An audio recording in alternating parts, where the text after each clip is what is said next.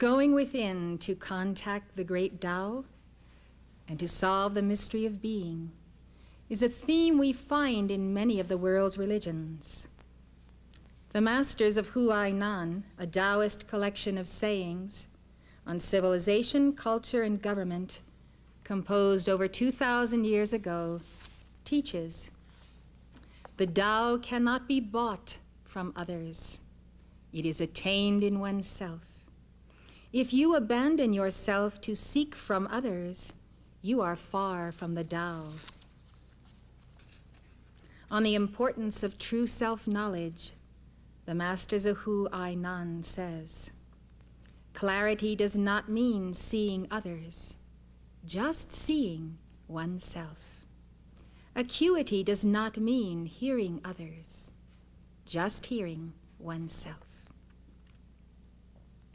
Understanding does not mean knowing others, just knowing oneself. This is like the advice Gautama Buddha gave his disciples in his last address. He said, Whosoever shall be a lamp unto themselves and a refuge unto themselves, to no external refuge, but holding fast to the truth as their lamp and holding fast as their refuge to the truth, shall look not for refuge to anyone beside themselves. It is they among my disciples who shall reach the very topmost height, but they must be anxious to learn. Christians have thought this concept to be pagan. But if you look at the chart of the presence, you realize it is not pagan at all. Buddha spoke of the seed within us, the seed of the Buddha. It is the same point of the seed of the inner flame which we call the Holy Christ flame, and of the one born out of the Tao, called the only begotten Son. And so, if we look within to the flame, we are not worshiping the self, we are finding that point of identification by which we were created in the beginning. Buddha is teaching us the same as Lao Tzu. Go back to the point of your beginning. And the point of your beginning is in yourself, and your real self is with you. The pattern, the full pattern of your identity. Find the great Tao within you, and you will find me, for I am one with that Tao. Buddha was concerned that his disciples would go here and go there and follow this one and that one. It is the same teaching of Jesus Christ. He said to his disciples, When they tell you to go here, to go out in the desert, to go there, go not, for the kingdom of God is within you. Jesus taught us that God has placed a portion of Himself within us. That means we are self sufficient unto God. On this we must stand. Jesus also told us, My grace is sufficient for thee. These words of Jesus have come to me this week over and over again. My grace. What is this grace? Is it not concentric rings of the aura and the halo of Jesus Christ or Gautama Buddha or Mother Mary? Is it not those rings of light of energy?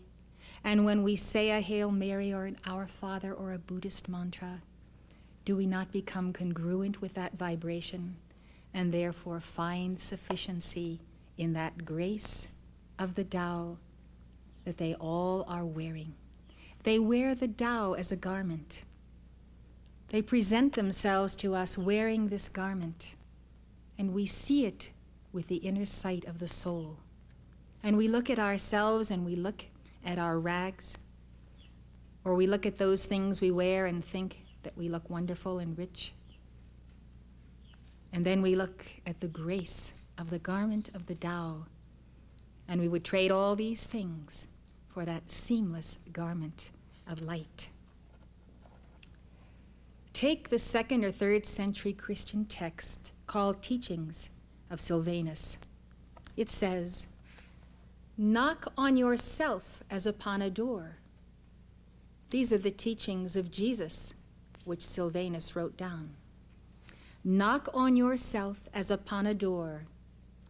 That is, knock on the door of your inner Christ, and walk upon yourself as on a straight road. For if you walk on the road, it is impossible for you to go astray.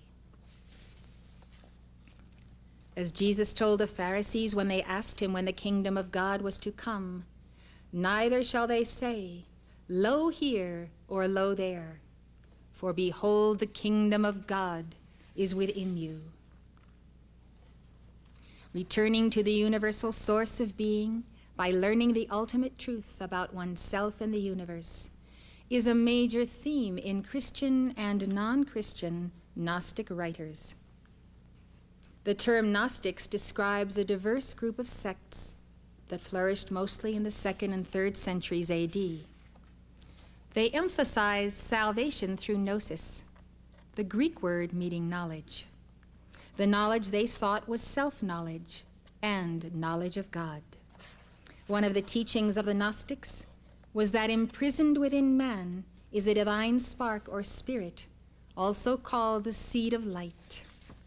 This divine spark is identical in nature to God and originally dwelt in the heavenly abodes, according to these Gnostic writers. But the divine spark fell to earth from higher realms, became entrapped by the illusions of this world, and forgot its divine source. The Gnostics described this state as sleepfulness, drunkenness, or ignorance.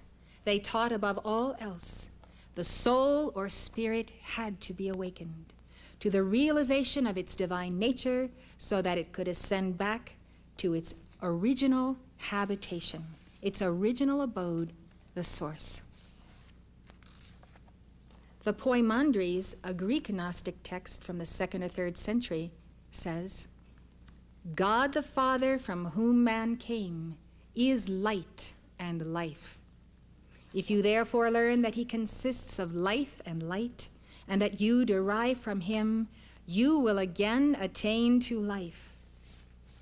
This is just another way of saying what Lao Tzu writes in chapter 16 of the Tao Te Ching. All things flourish, but each one returns to its root. This return is called to recover life.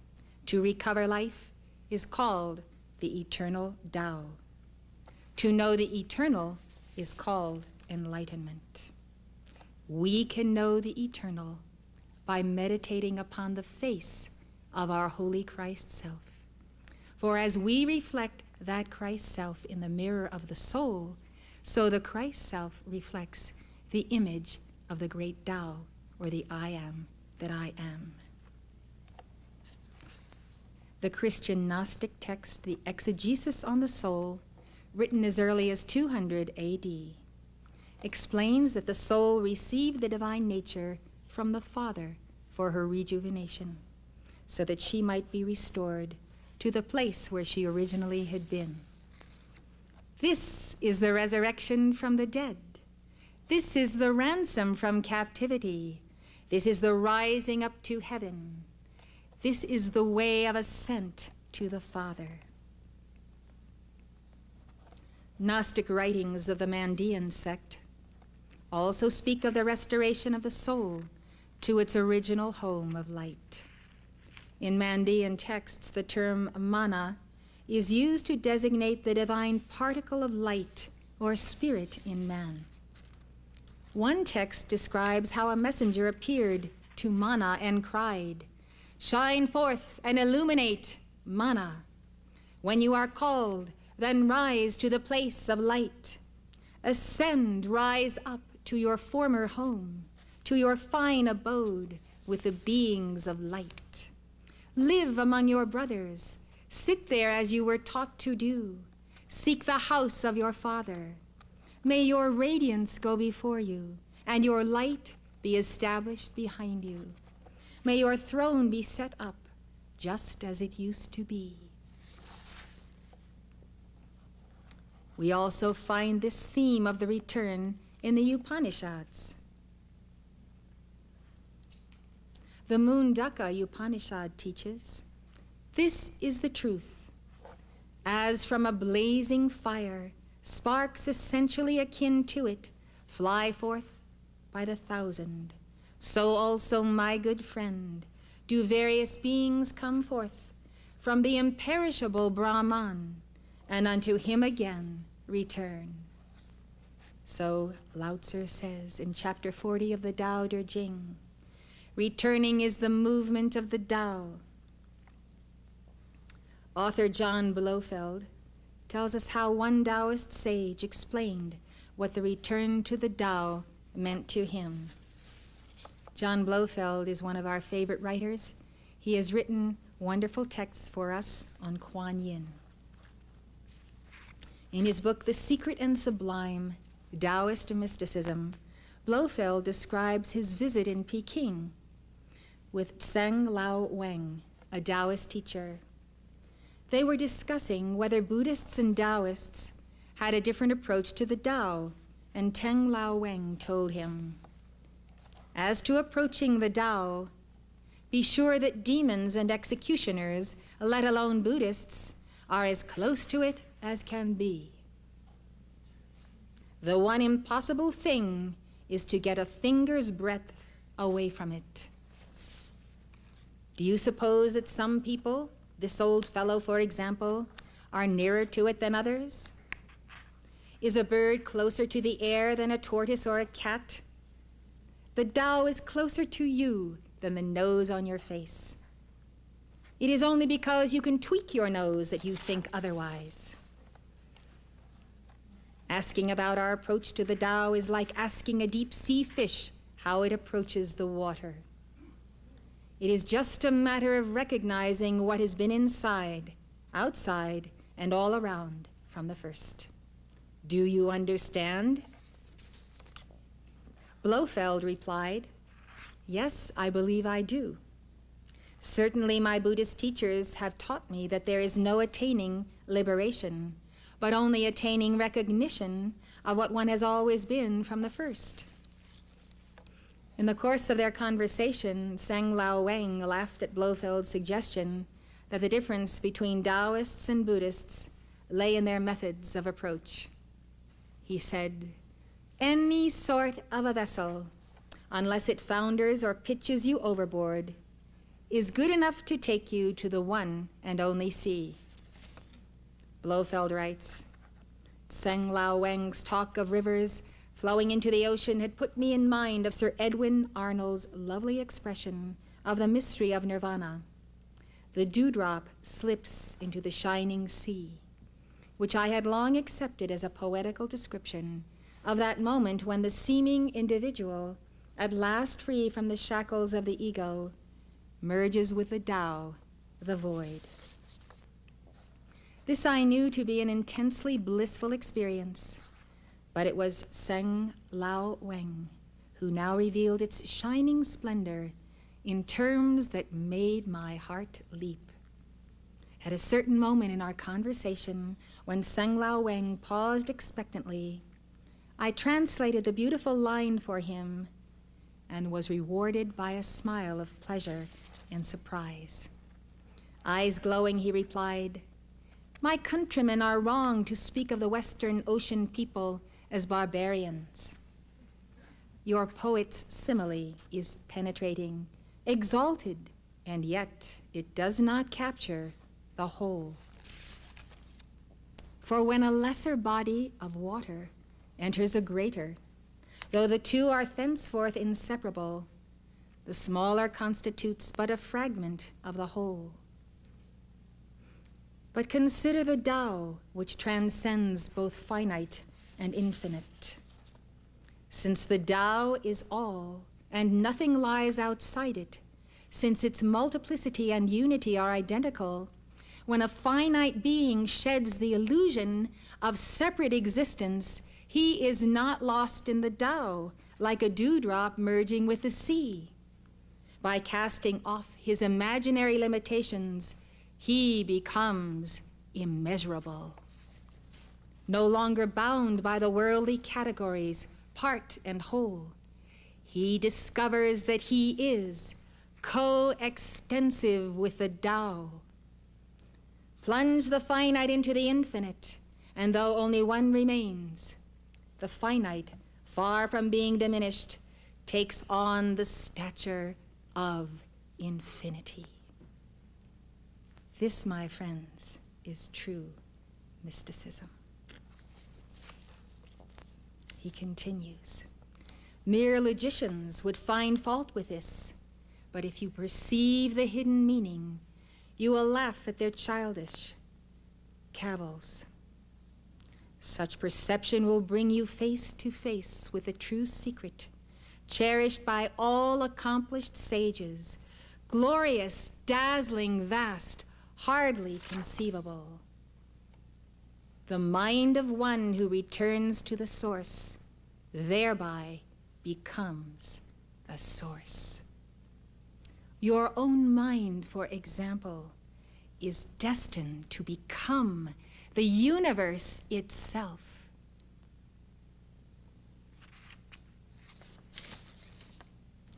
Think of this. Think of this profound realization. As we have cast ourselves in a finite mold while our God has cast us in the infinite mold. His mold is greater. Our mold will yield to it. We shall know that oneness. Mark Prophet spoke to me of this mystery. He spoke of being in God and being one with God. He said, When God is in you and you are in God, then you are God. I said to him, Do you mean you are part of God? He said, No, I mean I am all of God. That was 1972, and I wasn't ready for such a cosmic conception of myself or of himself. But since then, I too have tasted measure by measure my soul's oneness with the divine whole. This is a concept that Mark expressed in a poem that he wrote down from one who is called the Mahachohan, which means great Lord. He is an ascended master who is a teacher on the things of the Holy Spirit. And this is this poem that embraces this mystical concept. As a rose unfolding fair wafts her fragrance on the air, I pour forth to God devotion, one now with the cosmic ocean.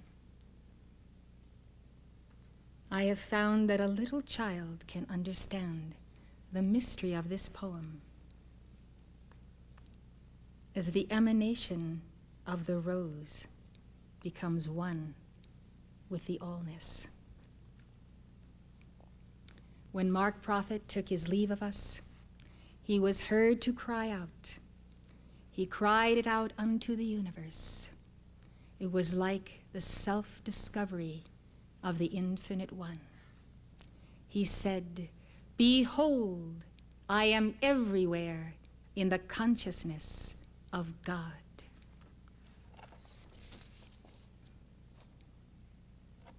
Having gone through a certain spiritual metamorphosis, we too can cry out unto the universe Behold, I am everywhere in the consciousness of God. Let's do it. Behold, I am everywhere in the consciousness of God.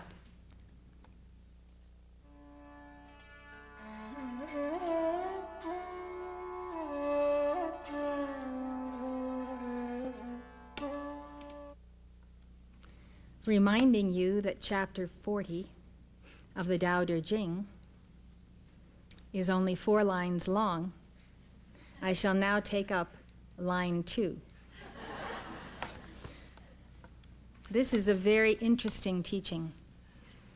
We savor it with tremendous joy. Line two reads Weakness is the function of the Tao. Other translators have used the words softness, yielding, or gentleness in place of weakness. Wing-tsit Chan explains what Lao Tzu means by weakness. He says there is in the Tao Te Ching a peculiar emphasis on what is generally regarded as negative morality, such as ignorance, humility, compliance, contentment, and above all, weakness. Lao Tzu is very insistent that we avoid the extreme, the extravagant, and the excessive, do away with desires, knowledge, competition, and things of the senses. He wants us to be contented with contentment and know when to stop. He encourages us to keep to humility and accept disgrace. In other words, seek no reputation for ourselves. To be willing to live in places which others detest, to be low and submissive, to be behind others but never ahead of them, and to become one with the dusty world. In short, to be weak. In the Tao Te Ching, water, the infant, the female, the valley, and the uncarved block are used as models for a life according to Tao. Practically all of these symbolize the life of simplicity. Some people have therefore regarded Lao Tzu's teaching as negative and defeatist, but this is not at all the case. Take the doctrine of having no desires, for instance. Having no desires simply means having no impure or selfish desires. It doesn't mean we should have no desires at all. While desires should be few, good ones are to be had and to be fulfilled. This is also true of knowledge. Knowledge in the sense of cleverness and cunning is to be discarded, but knowledge of harmony and the eternal, contentment, where to stop, and the self is highly valued. Or take simplicity. The symbol for it is the uncarved block, which is not spoiled by artifice. Metaphysically, it stands for the original purity and unity of Tao. And ethically, it stands for a simple life, free from cunning and cleverness, not devoted to the pursuit of profit or marked by hypocritical humanity and self righteousness, but is characterized by plainness, tranquility, and purity. Lao Tzu wants us to return to the life of a single and simple community. He advocates a life of plainness in which profit, cleverness, selfishness, and evil desires are all forsaken. If the spirit is correctly understood, it is simplicity and not renunciation that is desired. Unless we understand this, we shall not be able to appreciate why Taoism has become the central principle in Chinese aesthetic enjoyment. Tea drinking, landscape painting, poetry, the landscape garden, and the like are not to be deserted, but to be enjoyed in their simplicity. As in the case of simplicity, weakness is not to be taken one sidedly or literally. Weakness is advocated for at least three reasons. One is that it is a virtue in itself, that is, as necessary in life as strength. In chapter 28 of the Tao Te Ching, Lao Tzu says, He who knows the male, which is strength, and keeps to the female, which is weakness, becomes the ravine of the world. The ravine is a small, narrow, steep sided valley. It is larger than a gully, but steeper than a canyon. He who knows the male and keeps to the female becomes the ravine of the world because he combines in balance the yang and the yin, strength and weakness. Secondly, weakness is often an outward expression of real strength. Chapter 45 says, What is most full seems to be empty, and the greatest eloquence seems to stutter. Thirdly, weakness overcomes strength in the long run. In chapter 78, we read, There is nothing softer and weaker than water, and yet there is nothing better for attacking hard and strong things. The weak overcomes the strong, and the softness overcomes the hard. Raymond Van Over explains the Taoist understanding of how water, which seems to be weak or soft, is in reality strong. It is in reality a yin strength. He writes Water pushes and recedes, it effortlessly penetrates every crack and crevice. When it meets resistance, it merely rushes by, giving way, and then filling up around hardness. Soon enough, the resistance of the hard and rigid tires and gives way to the gentler persistence of the water. Water thereby can overcome and wear down even the hardest rock. For this reason, rational discourse is incapable of defining Tao. How does one define the action of water wearing away rock? In such a slow process, the mental hardness of man's rational knowledge, the knowing of logic and illusory sense perceptions, is worn away until an intuitive, direct perception is achieved. It is because we are all seeking direct perception that we are studying the mysticism of Taoism. To understand the Tao, one must first realize that the heavenly Tao simply pursues its course and does not speak about it or symbolize its essence. So says the Taoist let human action be like water that quietly seeks out all the crevices of life, but does it silently and effortlessly. In other words, he who is completely identified with the course of nature flows effortlessly with it, never fighting or resisting such infinite power, but utilizing its strength for his own fulfillment. As water finds its way gently, effortlessly, yet touching all points, so does the superior man conduct himself. In psychological terms, this implies the destruction of arrogance, egotism, and desire, the destruction of the restless spirit that seeks to conquer and serve its own ends. To accomplish effortlessly is the virtue of natural man, the man who has Tao. Another, perhaps more popular analogy sees man as the thinking reed who moves with the wind and is not broken, as a rigid stalk would be. As gentle waters are to the physical body, so to me the gentle violet flame is to the inner bodies. The violet flame sweeps through surface debris, then gets to the harder and deeper substances of our human karma and the conflict in our psyches. It is ever so gentle, and it is totally painless. The violet flame is an aspect of the great Tao. We say it is an aspect of the Holy Spirit, for there are seven rays, seven frequencies and qualifications of light. The violet flame is a flame we invoke. It is like a spiritual waterfall. When we invoke it, it tingles. You can feel it quickening the mind and the heart and cleansing the body. As we invoke it, it begins to pass through us. And if you look at the lower figure in the chart, which describes yourself, you will see that it shows you standing in the violet flame. You could only be standing in the violet flame if you've invoked that flame. When the flame is all around you, it is raising your vibration, purging the vibration of inharmonies and discords. It is the tool of the great Tao. It is the gift of grace.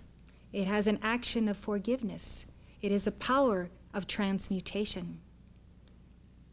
As you look at this chart, you can see that single thread that comes from the very top, passes through the I Am presence, through the Holy Christ Self, and is anchored in your heart. This is called the crystal cord. It is referred to as the silver cord in the Old Testament. Over this cord flows the river of life. And as that energy enters at the crown and passes through the heart and it is distributed through the chakras in the body, we can qualify it with the color violet. We can send it forth to others whom we have wronged or who have wronged us. We can not only forgive, but we can call forth this flame to transmute these mutual wrongs and thereby achieve resolution not only through personal interaction, but through this spiritual dimension where we use the science of the spoken word. When you know the gentleness of the violet flame, that it never complicates a condition, never accelerates, never causes a detoxification, so to speak, that you can't handle. It is so gentle that it is surely invisible in the sense that we are not aware of it. And yet it is the all power of God. It is so powerful that it can purge us, it can tra- transmute the records of an ancient karma.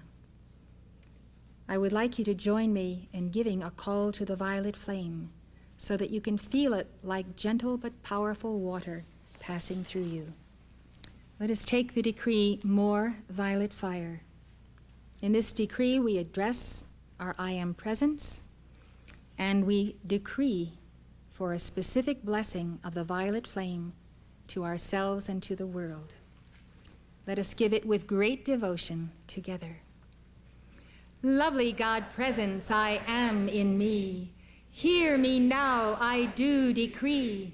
Bring to pass each blessing for which I call upon the Holy Christ self of each and all. Let violet fire of freedom roll round the world to make all whole. Saturate the earth and its people too, with increasing Christ radiance shining through. I am this action from God above, sustained by the hand of heaven's love, transmuting the causes of discord here, removing the cause so that none do fear. I am, I am, I am the full power of freedom's love raising all earth to heaven above. Violet fire now blazing bright, in living beauty is God's own light, which right now and forever sets the world, myself, and all life, eternally free in ascended master perfection.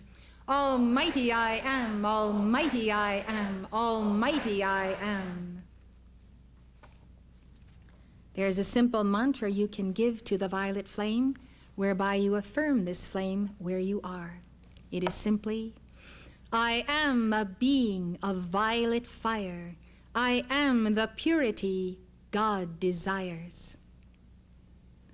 When you say the word I am, you are saying the name of God. I am that I am, which God gave to Moses. Let us take that affirmation of being as the affirmation of the great Tao with us that is releasing specifically this action of the violet fire. Together. I am a being of violet fire. I am the purity God desires. I am a being of violet fire. I am the purity God desires. I am a being of violet fire. I am the purity God desires. It is because the violet flame is a spiritual flame that we feel its sense of gentleness, its ethereal nature, in contrast to the yang forces of the world. Yet it is more powerful than all of them put together. Lao Tzu elaborates on the principle of weakness or softness through the Tao Te Ching. He says the softest, most pliable thing in the world runs roughshod over the firmest thing in the world. One who is good in battle doesn't get angry. One who is good at defeating the enemy doesn't engage him. If a soldier is rigid or unyielding, he won't win. If a tree is rigid, it will come to its end. Rigidity and power occupy the inferior position suppleness, softness, weakness, and delicateness occupy the superior position. The Taoist work, the Masters of Huainan, teaches those who want firmness must guard it with flexibility. Those who want strength must preserve it with weakness. I would say that the beatitude of Taoism might be Blessed are the flexible, for they shall not be bent out of shape.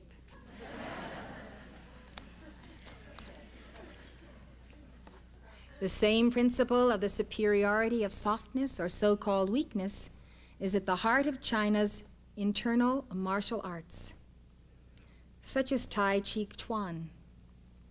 These arts are based on cultivating inner energies and developing softness that will triumph over the use of external muscular force. The body appears to be soft and gentle externally, but has a great concentration of internal power. This internal power is concentrated in the seven chakras. These chakras are lined up along the spine from the base of the spine to the crown of the head. The 20th century Tai Chi Chuan teacher, Cheng Man Ching, writes Those who love combat never fail to use stiff and brutish force to strike their opponents, or fast techniques to grapple with them. This is the peak of yang, the extreme of hardness.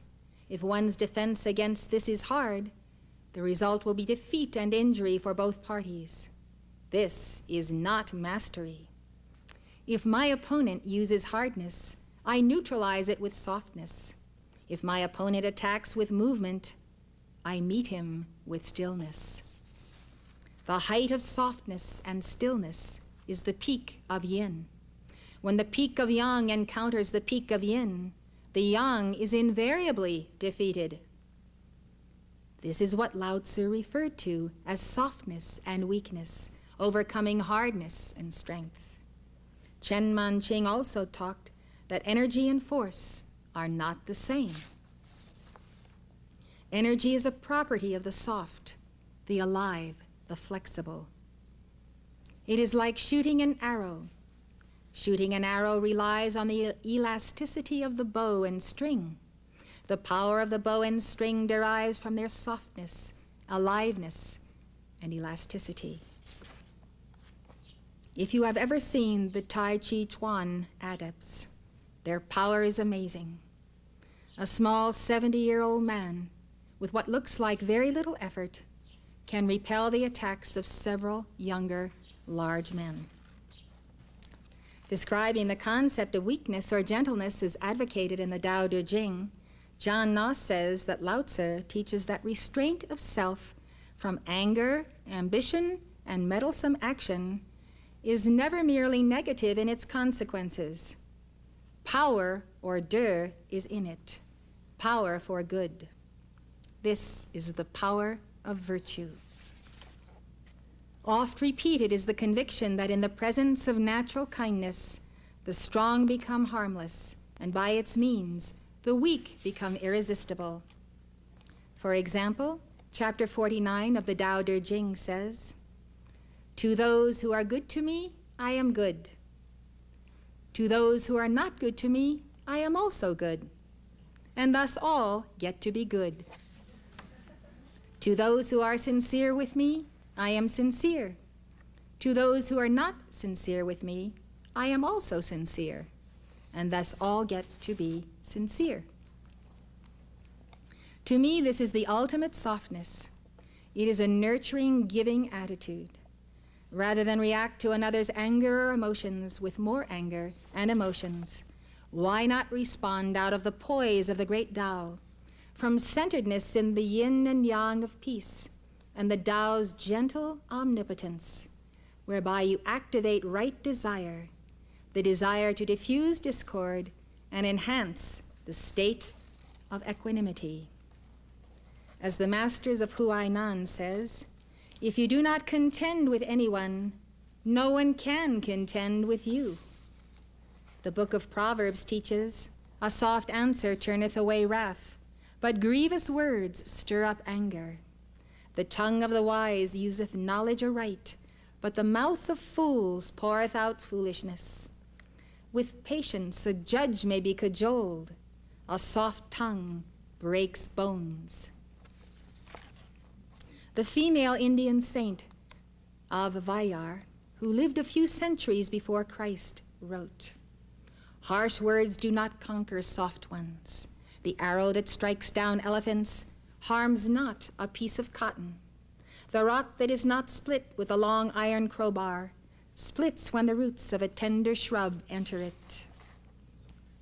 As John Noss said, the softness that Taoists speak of is a restraint from anger, ambition, and meddlesome action. The writings of the Taoist sage Chuang Tzu speak of the sage who, like the Tao, remains unmoved and still. He says of the sages, all things are not able to disturb their minds. When water is still, its clearness shows the beard and eyebrows of him who looks into it. It is a perfect level, and the greatest artificer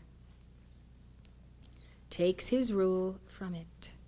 Such is the clearness of still water, how much greater is that of the human spirit. The still mind of the sage is the mirror of heaven and earth, the glass of all things. Vacancy, stillness, placidity, tastelessness, quietude, silence, and non action. This is the level of heaven and earth and the perfection of the Tao and its characteristics. By, by vacancy and non action, Chuang Tzu is speaking of being in that receptive mode where unnatural human actions give way to the natural movement of the Tao. This is softness, that passive receptive attitude whereby you still the human self, the human tastes, the human doings, and let yourself be one with the great Tao. Along these lines, the 18th century Taoist adept Liu Ming wrote, Look at this window. It is nothing but a hole in the wall but because of it, the whole room is full of light. So when the faculties are empty, the heart is full of light. Being full of light, it becomes an influence by which others are secretly transformed. They're secretly transformed because they do not know that that light comes from you or anywhere. They just receive the effect and the benefit. Liu Yiming uses the analogy of lead and quicksilver to describe the superiority of the mind of Tao to the vacillating human mind. He said, In material alchemy, when quicksilver is exposed to fire, it flies off. When lead is put into quicksilver, the quicksilver is stabilized and they combine to form a mass without volatility. This is the Tao of controlling yin by means of yang. The human mind is mercurial and unpredictable. That is a yin condition. It gives rise to emotions about what it experiences and stirs up confusion after exposure to external influences. This is like quicksilver flying off when exposed to fire. If the mind of Tao, representing the yang, is always present, warding off danger, and one is always aware, then the human mind has no room to rise up. When we talk about the mind of Tao, we're talking about the mind of the One to which the Tao gave birth, that Holy One of God, that Holy Christ Self. That's why the Apostle said, Let that mind be in you, which was also in Christ Jesus the mind of that universal Christ. And why did he say it? Because he knew the instability of the human consciousness. The masters have said that the human consciousness is unpredictable, and that is because of its yinness. So when we put on that mind, then we are acting through and in and of the mind of the Tao. This mind wards off danger one always is aware. Therefore, the human mind has no room to rise up. This is quicksilver being stabilized by lead. If you then go on to work diligently at increasing the positive energy of the mind of Tao, while reducing the negative energy of the human mind, increasing and reducing until no more increase or reduction is possible, then the human mind dies and the mind of Tao is stable within you. The seed of realization is then in your hands, and with it you can become a sage, an immortal, a Buddha. At this point, the foundation of essence and life is established. Now, if you go on to do advanced work, you will surely attain profound self realization. The Ascended Master Saint Germain has given us a practical lesson on how we can maintain our control and our softness when everything around us is falling apart. He says sometimes when you suddenly feel a disturbance, you are taken aback. You have a shock or a sudden reaction to the unjust acts of another. You momentarily lose your balance because the normal flow of the aura has been disturbed, as though someone had suddenly agitated the waters of the emotional body and the mental body. Your aura, he reminds you, is your sanctuary. And it is the sanctity of your God flame, your divine spark. Thus, before answering the demands of the carnal mind, whether yours or someone else's, the questioning, the praying for favors, etc., re establish yourself, re establish your centeredness. Do this by speaking quietly softly, slowly, deliberately. In this way, you will not engage the anger, the impetuosity, the upsetness of anyone around you. Speak from the seat of the heart, the point of the Buddha, not from the seat of the scornful, as the psalmist counseled. Speak with the gentle but firm position of authority the authority of the peace commanding presence of the Christ within you. Speak out of the love of the Divine Mother's heart as she disciplines her children. Speak with strength, firmly, peacefully, powerfully, so that God may use your voice to still your aura and the agitation of another's. Be the calm presence in a vortex of crisis and calamity and learn the way of the immense power of peace itself. Take some regular deep breaths. For in the presence of anxiety, the heart begins to pound, and those who toss and tumble on the edge in a short breathed manner thus add to their out of control state. As you remain poised in the center, Take another deep breath and release it. Quietly turn within to the seat of the heart, and there maintain your God control. Thus, the soft answer turneth away wrath. If someone is speaking to you in a loud or rapid, high pitched voice, adjust the tone and answer with a gentle yet powerful words of the inner Buddha or the inner Christ. Give the mantra, Peace be still, and know that the I am that I am within you is God.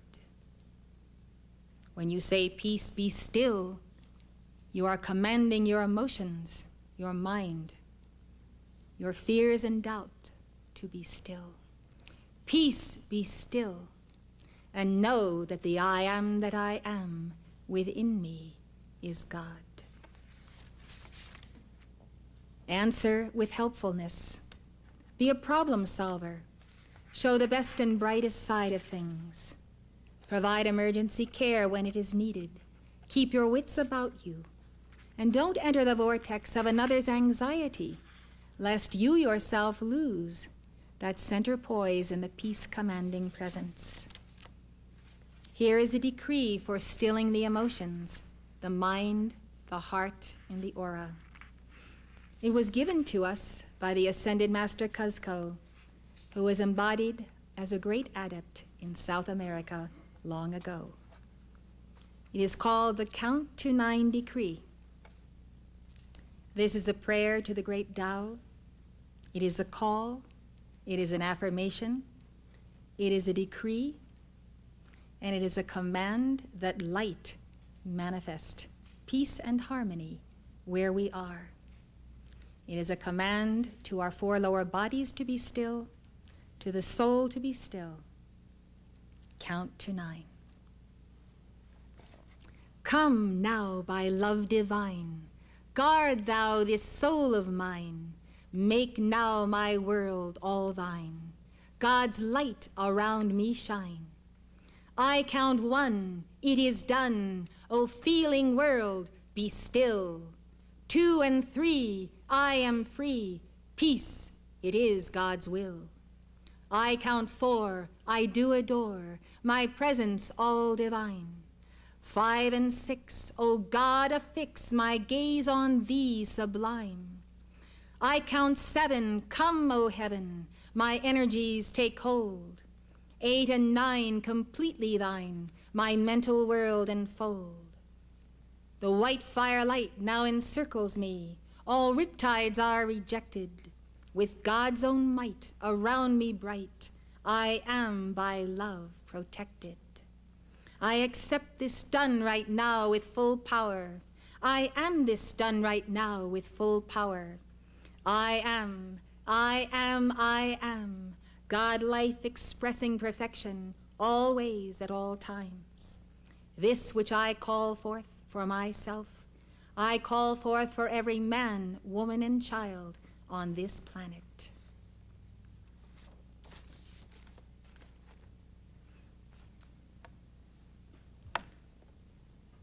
as we take to our hearts today the riches of the Spirit, the banquet that has been placed before us, let us give a hymn of jubilation.